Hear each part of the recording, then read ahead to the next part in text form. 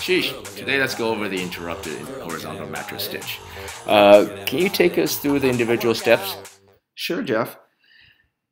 It's actually done by entering the skin at 90 degrees, about uh, 3 millimeters, 2 to 3 millimeters from the wound edge. And you can see um, at the deep portion, we go through and enter the opposite side of the wound at the same level, and then come out a few millimeters away from the wound edge.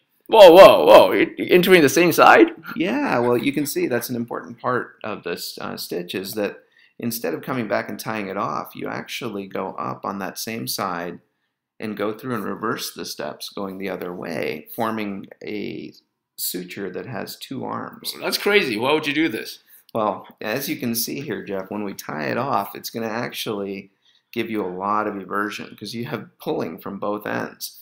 Also, those two limbs on either end of the wound, or either side of the wound, I should say, provide hemostasis. Finally, since this is an interrupted suture, we can just remove a single suture in case of a hematoma or seroma. That's crazy. Jeff, that's the interrupted horizontal mattress stitch.